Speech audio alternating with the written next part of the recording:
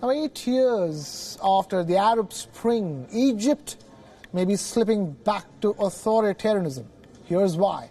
The Egyptian parliament has passed a constitutional amendment that could keep President al Sisi in power until the year 2030.